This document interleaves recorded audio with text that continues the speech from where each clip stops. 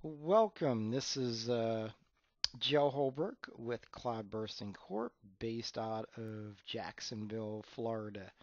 Looking forward to spending uh, the next uh, hour or so with y'all. Let's go ahead and get started. So we'll be talking about the CompTIA Cybersecurity Analyst Certification. This is a fairly new one. Only it's only been out since about February, so not a lot of people have uh, have taken this yet, and uh, it is uh, part of the CompTIA security uh, knowledge framework. So we'll go ahead and um, talk more about this. So I'm uh, Joe Joe Holbrook, as as uh, as you know, um, owner of Cloudbursting Corp here in Jacksonville, Florida. I've been a cloud consulting architect and technical trainer for, for quite a while. I've been uh, focused mainly around cloud computing, uh, cloud security, IT data security, uh, and storage. I've had the opportunity to work for uh, uh, great companies, great vendors, and VARs for, for quite a while. Um, and uh, d- definitely got the chance to, to do some some great uh, implementations and, and be involved in some great sales as well. Been also a government contractor on and off for 10 years. Also a DoD 8570 qualified. Um, and uh, as far as uh, my focus around security has been mainly cryptography. Um, uh, one of my uh, prior gigs was mainly focused around Brocade encryption, RSA, uh, etc. Also, uh, a CompTIA subject matter expert. I had the opportunity to work on uh, the Cloud Plus Cloud Essentials exam, so I know a little bit about how CompTIA um, works uh, with their exam development, and uh, I will say they do an amazing job of test development um, as a trainer, I can tell you not every organization invests the time and effort that CompTIA does in their testing. I, I, I can can say that, and I've uh, I've certainly um, worked on other tests for other vendors uh, in the past. So what are we going to cover today? Let's go ahead and understand what you're going to be tested on. Now, before we talk about that, let's go ahead and give you an idea what we're going to cover in this. Uh, what will likely be about an hour, uh, plus or minus 15 minutes. I'm going to do my best to give you as much information as I can as quickly as possible. Now, if I was going to teach the full course, this would be a five day event. This is a 40 hour course where we will cover all the frameworks, all the tool sets, all the best practices, all the vulnerabilities. Um, again, um, can only do so much in an hour and a half. What I will likely do, follow up with another one of these uh, videos. Uh, depending on how well uh, this turns out, I may or may not do it. We shall see. But in the meantime, let's get rolling. So we're going to talk about what is the CompTIA CSA. What are the roles? Talk about the exam objectives, the exam format. We're going to talk about the frameworks. We're going to talk about tool sets. And then as a bonus, I threw in there the security appliances um, uh, area that we would actually, uh, module essentially that we would cover. It's the shortest one, but a, a very important one I wanted to get in. Um, and then we'll talk about DoD 8570 uh, and uh, what's going on with that for those folks, especially in government contracting or in the military or government uh, uh employees. And then I also threw in some mock questions to test your knowledge, see how y'all, uh, you know, uh, do on them. Feel free. So what is the CompTIA CSA? Well, the CompTIA CSA is the Cybersecurity Analyst exam. Now, one thing I want to clarify, because I always get questions on this, is what does the plus sign mean? Well, the plus sign means is that there is continuing ed required. So this cert is usually uh, three years, and then there's going to be um, essentially um, additional um, continuing ed required to maintain the cert. So this is designed for security analysts, vulnerability analysts, and threat intelligence analysts. So the exam will, um, again, test your knowledge, how to configure these tools, perform analysis, and then uh, interpret re results to essentially protect your organization, essentially. I'm not going to read it all, of course. Feel free to do that yourself. Now, what are the duties typically for a CSA? Now, again, every company is going to have their own take on it. Um, but again, generally, this could be a junior or senior level, could report up to the CISO.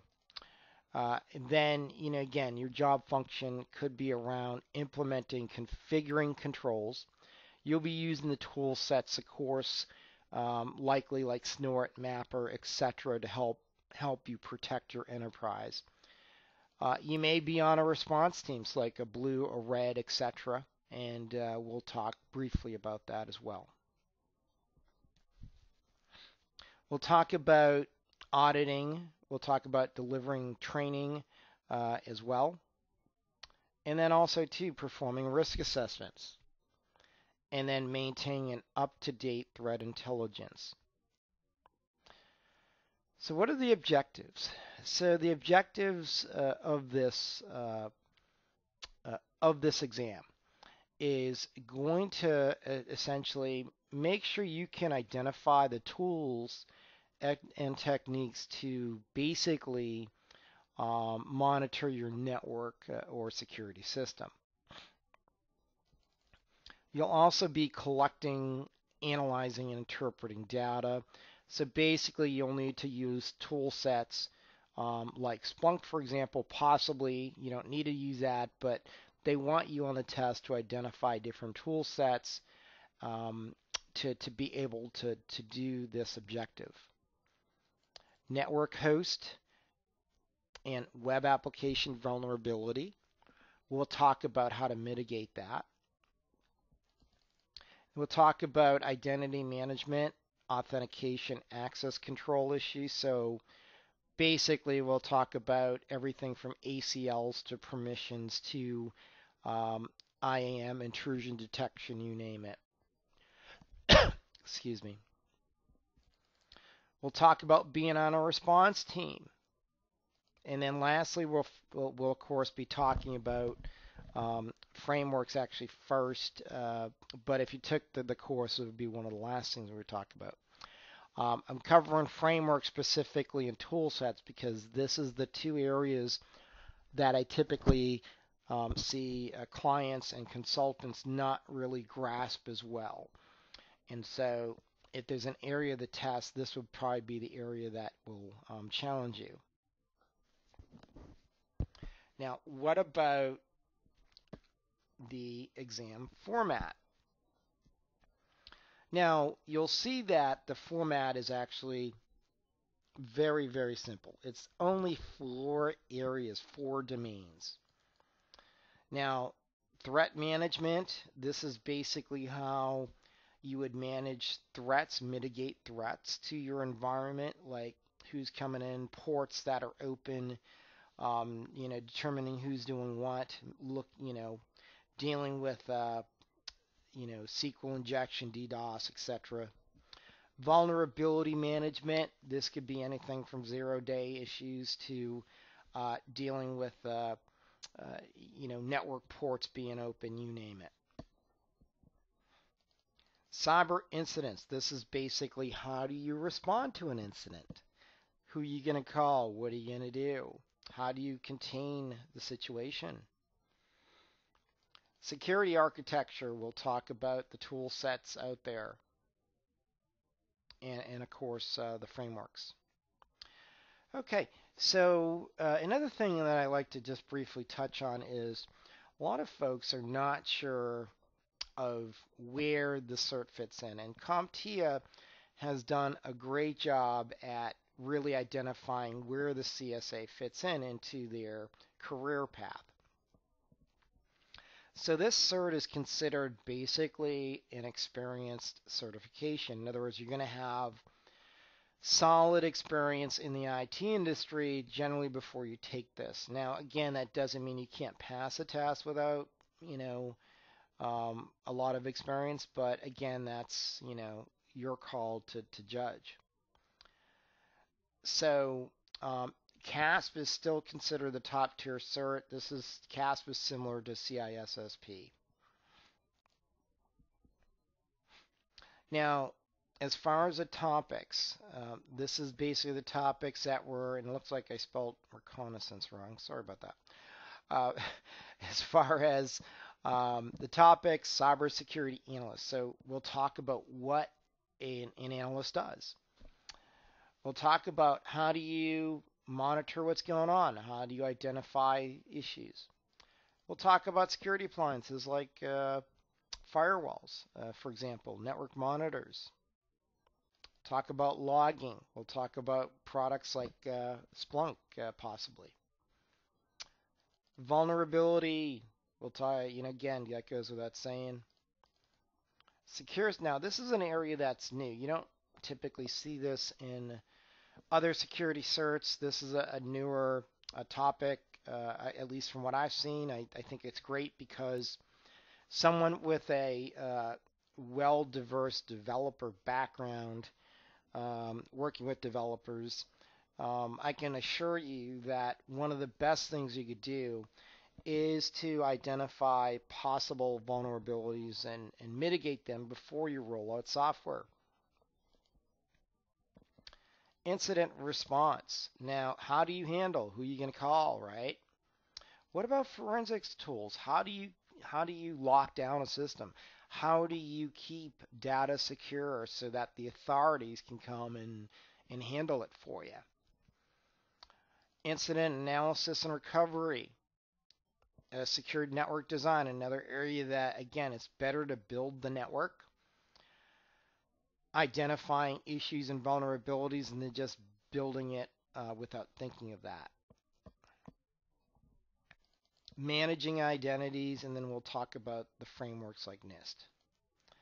So again, this is the, all these topics. This is a five-day class. We're not going to get to all these. Um, the main goal is to, to talk about at least uh, briefly uh, two or three of these so that you have an idea. And I'm covering areas that mainly people miss. These are the areas that almost everyone without like a lot of hands-on or federal government experience uh, may not get correct. Okay, so let's go ahead and talk about the test itself. This is brand new, February 15, 2017, only a few months. Not too many people know this exam. Uh, in other words, it's, it's still in its infancy. This is a very solid exam, very well written in my opinion. Um, kudos to CompTIA and the SME team that uh, worked on this. It is multiple choice and performance based. It's around 85 questions. Another question I get is, well, why does it say maximum? Why can't they say, you know, 80 or 85 or 90, whatever? Well, CompTIA, just like a lot of other um, vendors and test uh, proctoring uh, uh, development. Uh, actually, the term I'm trying to use is a content developers, etc. Like to test out questions, so you may get some beta questions in there just to see, um, you know, the response. Some of them you don't get tested on typically, so again, and then also too, the test is performance based, so um, I've not totally gotten a good answer as to if you if you get everything right, do they give you 80 questions instead of 85? Vice that's sort of considered a, a secret, I guess, um, for the privileged few. So I don't know what the correct answer would be there, but I'm guessing um, that that's probably uh, what similar to what Microsoft was doing. Now you get 165 minutes. This is a long time. So again, 165 minutes, 60 minutes to an hour. Do the math. That's that's pretty good. Passing score 750. Now, CompTIA does their scaling a little different. A lot of people that take tests are used to, you know, a scale of 0 to 100. CompTIA uses 100 to 900. Now, the biggest challenge of all for some folks is the cost. I'll I'll be honest. Uh, there's no question that the CompTIA certs are more expensive than a fair number of certs, and especially like the certs that are entry level. Um, you know, still paying 200 $300 for um, some certs could be a barrier to a lot of people. So, um, again, um, I'm not knowledgeable in the business aspect of test development, so I leave that to the experts, of course, to answer. Okay, so let's start out by talking about frameworks. Now, one of the areas on the test is going to be around frameworks. Now, again, frameworks are not exciting. I'm not going to pretend I get excited by them. I think they're, you know, I think they're necessary, but again, a lot of people get pretty bored by frameworks. So I'm going to try to make this as exciting as possible. Now, frameworks are very important because without a framework, right, um, you're not going to really have an idea of how something should be developed or put together or how best practices should be identified. But anyway, so one of the areas that you really need to know is NIST. And I'm going to go over to my browser here and I want to show you uh, some resources. I'm going to go to NIST first. Now, on the NIST website, uh, NIST has uh, the Computer Security Division. This is the these are the go-to folks around the framework for a lot of the federal government frameworks, directives. They also work together with Congress to write um, a lot of the um, um, you know laws and and uh, you know other acts. You know, basically it would be called an act. But uh, again, you know, they're quasi-governmental uh, organization. They're actually under the Department of Commerce. So, but one of the areas you want to know is understand FISMA. So FISMA is the Federal Information Security Management Act. Now there's a, a, few PDFs. I'm going to show you some of them, but for time purposes, I'm not going to walk you through all of them. FISMA. So take a look at FISMA. Know what FISMA is understand uh, areas like this, for example, around FISMA. Understand RMF. And, and again, take a little time uh, to do that. If you take the class, we're going to walk you through all this. And then the GoDaddy of them all is going to be the NIST Special Pub 853A. And I'm going to go ahead and bring up my PDF here. Now, this is the PDF. You'll see that this is the NIST SP 853 um, R4 or etc. I can't read that. It's a little tough for me to see. But if you go over here um, to the table of contents, what I'd like you to do is to go through this document. It's it's uh, it's fairly lengthy. It's 462, but I'm going to identify some areas I think um, that you want to focus on. And the first area is going to be really focused uh, around fundamentals. So you want to really understand risk management. So take a look at risk management. Look at uh, uh, the uh, RMF steps. Uh, and this is, again, uh, a framework here you want to take a look at. Understand the structures and, and just go through um, at a high level these areas. What, what I'd like you to, to really focus on, uh, and let me go back to as well another area is going to be around um, assurance and trustworthiness. So, for example, um, read uh, anything that is uh, basically in like gray. These are you know areas that you may see. Uh, a lot of this is going to be in the content for the course, but if you don't take the course, I would highly recommend you focus on the gray boxes. Another area too is read about um, assurance evidence, for example, and understand like the strength of security. And then assurance, understand what assurance means to the organization. again, look at the trustworthy model, understand that trustworthiness has essentially um, these areas that you want to um, refine or memorize, I mean. And again, for time purposes, I don't really have a lot of time to um, go through the PDF. It's fairly lengthy, but you'll get a good idea by reading um, some of these areas. So this is the PDF link here. And then uh, I also encourage you, again, this is uh, this is the RMF framework, another area that we would cover. Now, with the framework, there's different steps. So this is called the risk-based approach. Highly recommend you take a look at this. There's also some cool slides over here um, you could download. Um, this is actually, um, you know, oddly enough, uh, the course uh, actually takes some of this and um, sort of uh, puts it into the course. So I would recommend you sort of look at this one. So again, uh, with that said, um, a lot of reference to NIST. So I hope you get the point. Okay. FIPS. Another area would be FIPS. Understand what FIPS is. That's a Federal Information uh, Processing um, uh, System, and, and do understand what FIPS means. And then this is FISMA as well. Okay, so those are the those are the you know main frameworks I want you to take a look at. Now another one I didn't cover um, is also going to be FedRAMP. I, I do recommend FedRAMP. Um, taking a look, understanding what the FedRAMP um, uh, protocols and procedures are, what an ATO is, for example, as well. But again, um, uh, for time purposes, I can't cover everything. I just want to give you some some thoughts. Okay. Now, if you do, for example, to be able to pass this test, you're going to need to know some tools.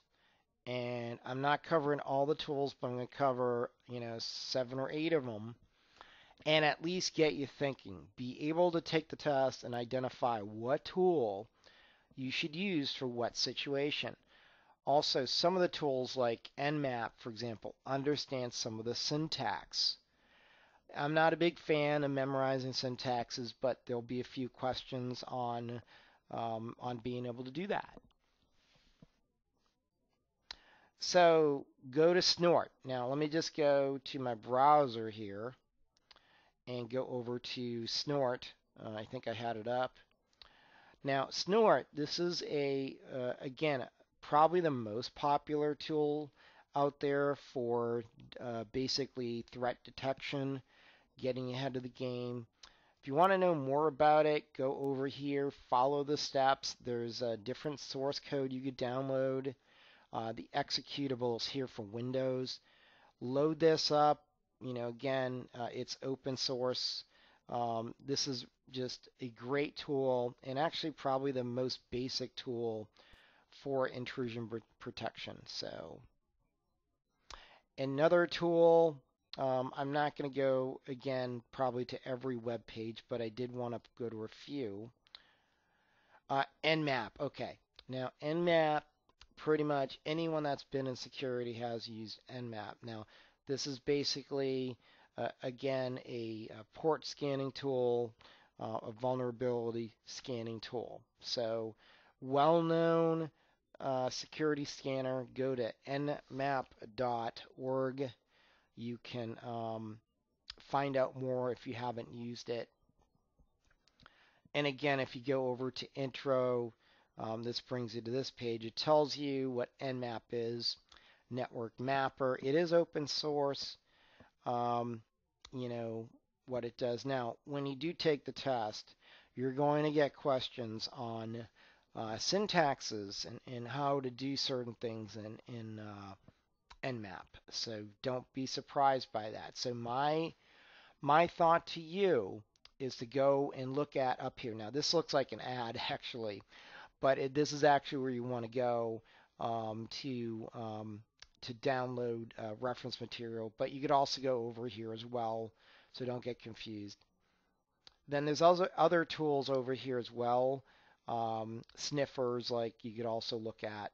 Now we are going to talk about Wireshark and uh, all that, but some of these other tools, I, I recommend you take five minutes and know each of these tools because what's going to happen is when you take the test, they're going to ask you identify why you want to use TCP dump or why do you want to use Wireshark. Be able to do that because if you don't, you're gonna you're gonna just bomb out on the test because a lot of the questions are on tool sets and, and how to use them. So it's a good part of the test. So uh, word to the wise, play around with these before you take the test. Okay, Wireshark. Now, Wireshark, uh, for those folks that haven't uh, used Wireshark, I, I recommend. Uh, actually, I put the, the wrong link in there. Uh, looks like I put uh, probably, yeah, I forgot to put a dot there. Sorry. Uh, but Wireshark is again very widely used. Um, there's different uh, solutions to to Wireshark, but it's it's mainly used um, for again uh, network uh, protocol. And again, you go over here, depending on the traffic and, and the type of setup you have, and, and you know also too, do you need 802.11 and areas like that? That's up to you. But go ahead and you know take a look and, and learn more about Wireshark. Um, again, this is an area uh, you're going to want to know. Another tool is MRTG. This is the uh, Grapher tool. This is actually a very cool tool. Um, if you haven't used it, my uh, recommendation is to play around with it. Um, you know, again, just like all the other tools, the only way you know them is to to go ahead and um, play around with it. So again, you go ahead and download it here. Um, this is uh, open source. Go ahead and read the doc before you do it, of course. There's going to be certain areas before you install it. My recommendation, I've had much better luck playing on Linux than I've had on Windows. But again, that's that's up to you to, to play around with it. It does the same thing. SolarWinds. Um, now, SolarWinds is, you, you know, again, uh, a popular tool that you'll see, especially around network management, uh, IT security, um, as, as well as monitoring. Um, so again, um, take a look at Splunk.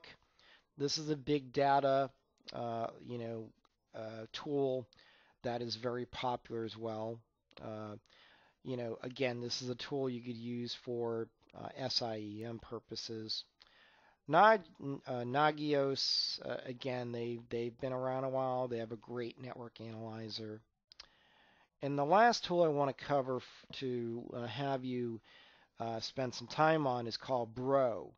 Now, I love the logo to Bro. It, it's pretty freaky, but uh, again, this is a tool that um, you have to know. So Bro, if you go over to the website, this is open source. They've got the downloads here. You can download the source code, over here, the keys over here. My my recommendation is to play with it. As far as I know, it only supports Windows. Documentation is here. And before you do anything, this is actually very good. If you go over to the tutorials, they show you how to do this. One of the things that we would do uh, in class is walk you through doing this. Um, bro is definitely something you're going to see a question or two on. Uh, so do uh, do understand what it is and, and uh, what it can do.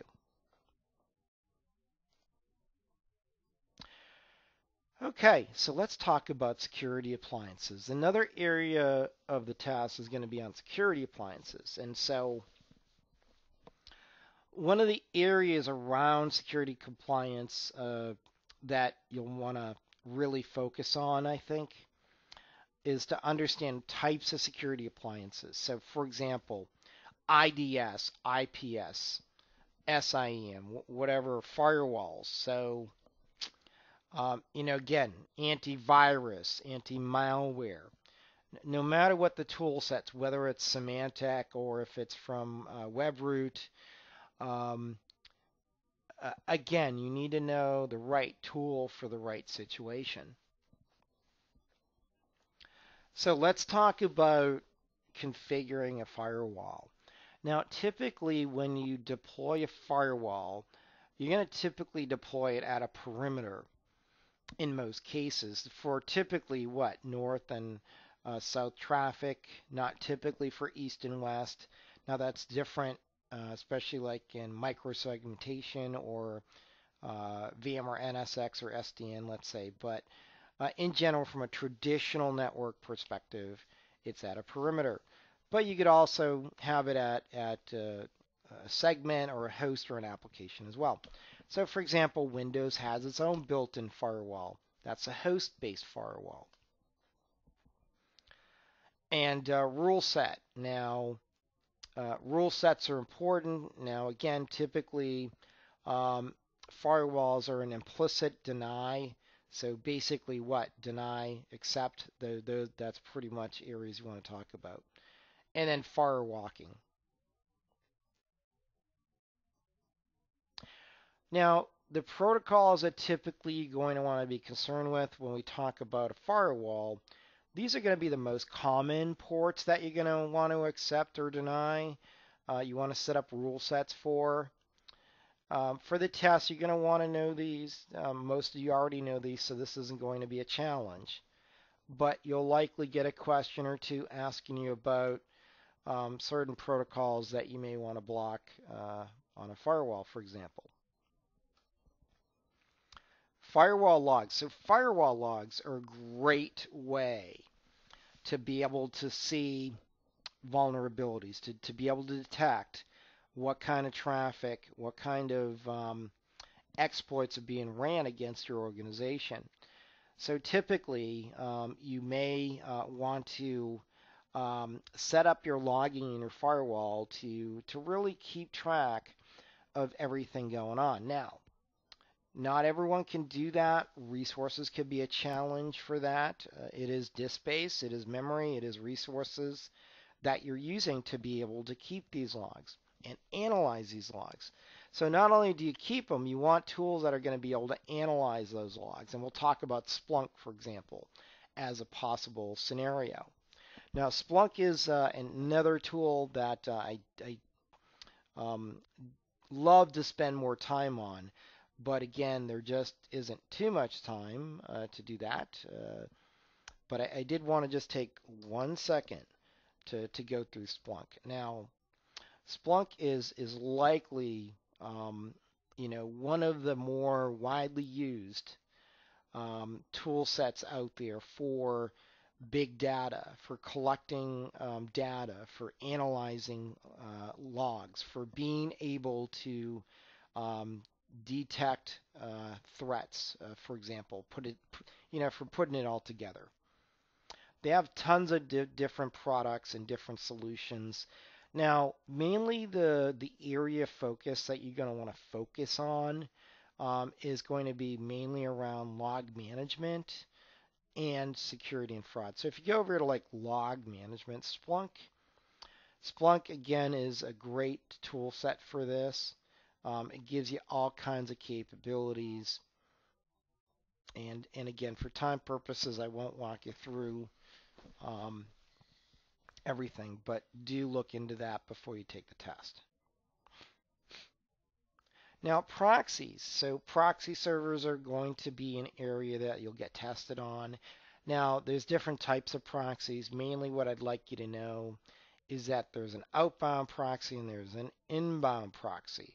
Now, again, now, if you get a test question asking you about what a reverse proxy is, you should know that it's an inbound. Now, of course, they're not going to ask it like that, but I, I just want to make sure you get some of the simple questions. So, one of the challenges with taking a test is you can't go into a test expecting to get everything right, at least not normally, not most people.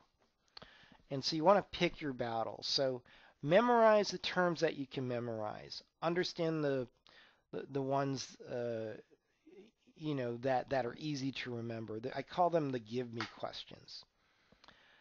Now, on the other hand, um, there's going to be questions that may take more thought. You might have to do some math. Um, again, those are different. You, you, may not be able to to go in memorize in a dictionary term. So, um, so you have to know um, where they apply and where they don't. Firewall vendors. Um, now, Cisco uh, has several um, solutions out there. PIX uh, is widely used as well as the ASA appliance. Uh, the ASA, for example, is widely used uh, in the in the cloud area. Juniper uh, vendors like IBM, HP, and now Checkpoint, Palo Alto Networks.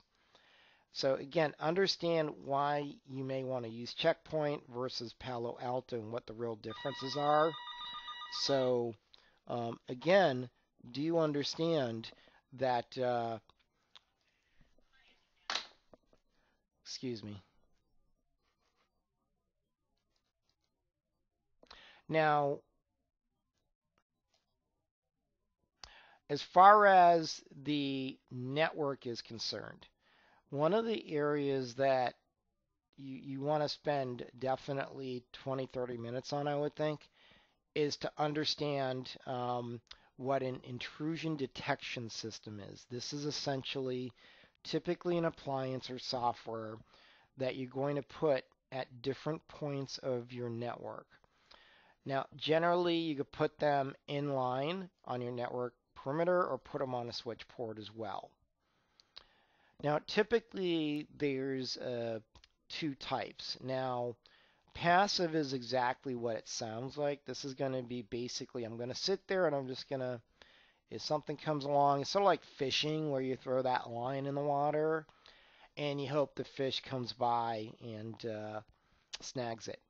Active is, is different. It's going to typically run scripts and uh, do different things like uh, turn on and off essentially. This is sort of like fly fishing where you're throwing the line out in the water and you, you're just constantly working. So again, those are generally what you may um, think. Disadvantages. Now, could be slow, could be vulnerable, and again, um, there could be a lot of false put. that well.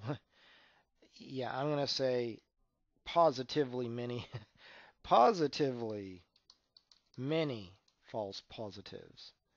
Uh, I'm to spell that right.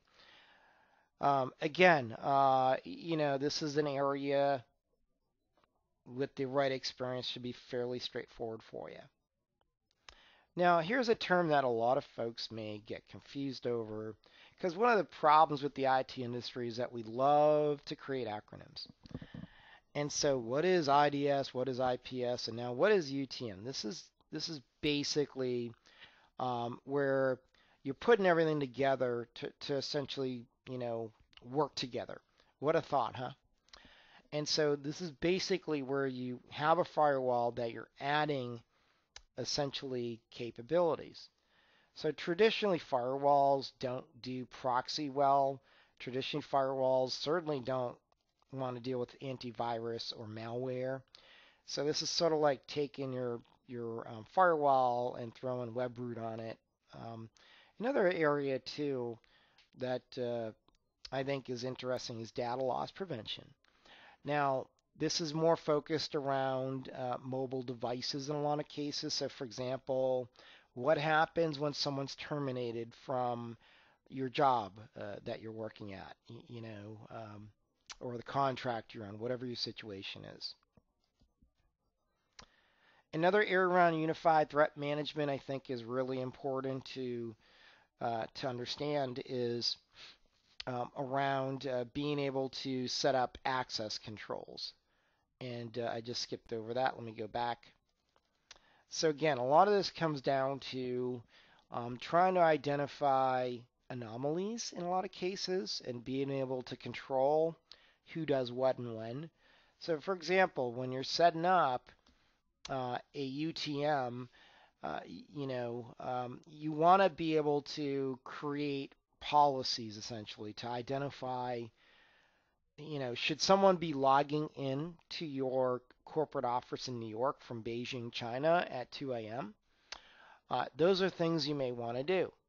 You know, on the other hand, you know, maybe that's if you have employees in China, that's great. If you don't, then maybe you want to create policies to identify domains and, and countries that uh, should not be logging in.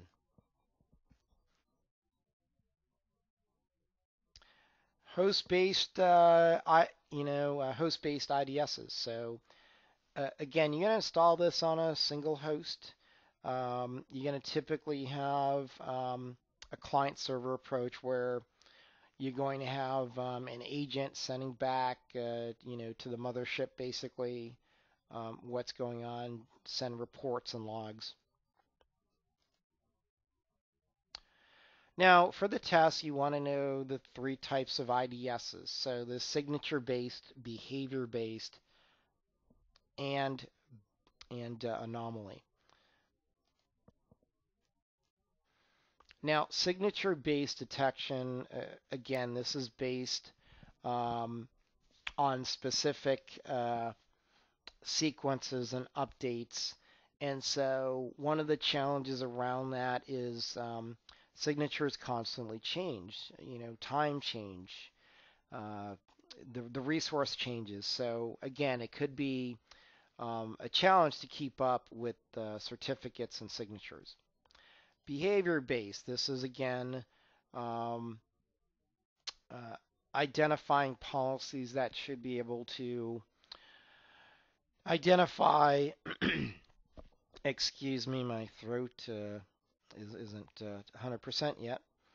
But uh, this is where typically we would uh, want to create a policy around trying to um, identify behaviors in an organization. And so if we know that sales folks will log in at a certain time and download certain reports, then that's okay. But then if we see folks, uh, you know, logging in at 2 a.m. and downloading backup files, then we know that that, you know, is a behavior that we probably want to deal with. Snort. Now, Snort is again widely used uh, IPS, IDS, uh, I mean. Sourcefire, Bro, we talked about uh, Bro briefly. And then you could also script by using regular expressions like if this happens, do this.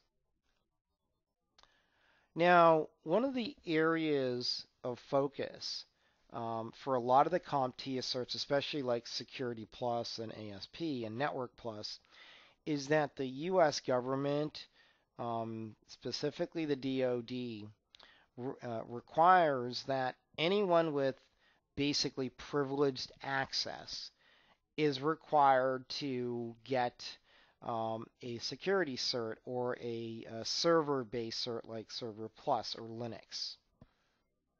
And a lot of this just depends on the, your role, and I'll talk briefly about that. For those folks trying to understand what DoD uh, 8570, 8140 is, you go ahead and uh, I'll put actually uh, I'll put the link on the, the YouTube page uh, here for you. So more information about 8570. You could see here there's what's called um, access um, levels here. And depending on your role, so for example, if you provision email accounts, you'll likely be more focused um, around a level one. But if you're like the root administrator on a uh, you know enterprise data storage array or server, you'll likely need to be a level three depending on your role. So can you uh, install, configure the system? Can you backup files, delete files? So a lot of the, the roles um, are going to be tied to what's called an IAT level. This is basically what's called a privilege level. Okay, um, just about done. I, I, wanted to get you all done with uh, within an hour. And um, what I did was I, I basically um, put in six questions that I think are good just to, for you all to gauge how how knowledgeable you really are as a CSA.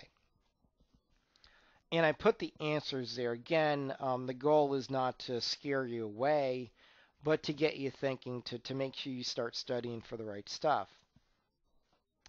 Now, what are the six rules of engagement for penetration testing? So, timing, the scope. So, before you do anything, you want to identify the scope, right?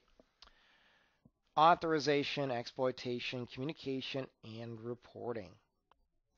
What are the classes of security controls that are identified by the syllabus? So again, if you took the course, the, the, the three areas we would be talking about would be physical. Now, physical is exactly what it means. That's where you're going to put up barriers that people can, can't get past. Could be anything from biometrics to gates to man traps to security guards. Logical. This is again going to be typically virtualization in a lot of cases. This is going to be um, ACLs, etc. And then administrative as well. Now, there's a term here um, called firewalking.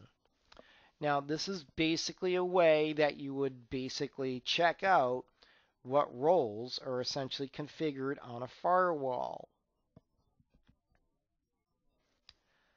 Number four, what are two principal factors uh, involved in calculating risk?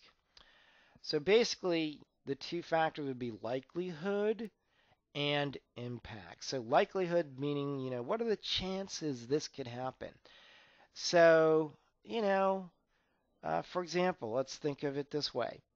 Um, you know, what are the chances that the power grid goes down in New York this summer? Who knows? You know, no one really knows. But then, you know, what about if you're located uh, in, you know, central Texas or northern Texas? What's the chance of a tornado going through your town It's probably pretty high, right? If you're in Tornado Alley. So it all depends, you know. The impact, this is basically what'll happen if uh, if something did occur. So basically, you know, what will be the financial impact? What will be the um, you know, the impact to the company? What type of policy might you include or supplement with a bring your own device? Now, part of the test is going to be around mobile. Again, you want to spend some time on mobile. Um, again, um, I, I, encourage you to understand, bring your own device, um, you know, understand mobility, uh, and, and try to understand areas around security around that area. Um, also, too, like loss prevention, um, etc. But this, this would be specified in what's called an AUP. That's an acceptable use policy. Again, if you've taken CASP or you've taken CISSP, this is nothing new to you. Number six, um, this is where you're going to want to read the cybersecurity framework. Again, when I was, was going over the frameworks from NIST, no joke, you're going to see numerous questions on this. Um, and, and, and again, this could be the difference for you passing or not passing. Um, so I, I, encourage you to get to know NIST. Go ahead and match up um, the uh, the JTA and areas of study that you want to do um, around uh, the the frameworks. So I'm going to wish everybody luck that takes the test um, definitely feel free to contact me on YouTube or LinkedIn or via my website as well. Now, I, I wish everybody luck. I really um, enjoyed y'all viewing uh, and, and participating as well. Feel free to leave some comments. Um, I'm going to also um, be posting several more videos here in the next three to five days I've been working on. Um, I'm going to do another one on CSA as well as Cloud Plus and and Google Cloud Platform as well. So happy testing, happy um, uh, you know profitable year ahead. Thanks again for joining, and do reach out. Let me know how you do on the test.